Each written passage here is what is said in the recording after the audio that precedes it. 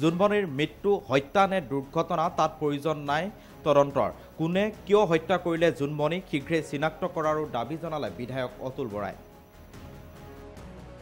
থাকিল এতিয়া। সেইটো কিয় নুসুধিব মোক। জোনমণি ৰাভাক কোনে হত্যা কৰিলে সেইটোহে লাগে মোক। এইটো এক্সিডেণ্ট নে হত্যাকাণ্ড সেইটো বিচাৰ নালাগে মোক।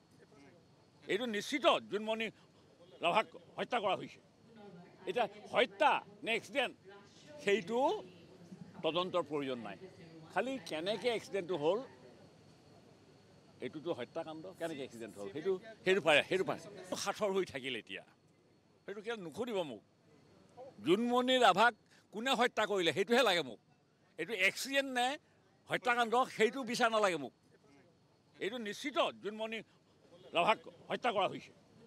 এতিয়া হত্যা নে এক্সিডেণ্ট সেইটো তদন্তৰ প্ৰয়োজন নাই। খালি কেনেকৈ এক্সিডেণ্টটো হ'ল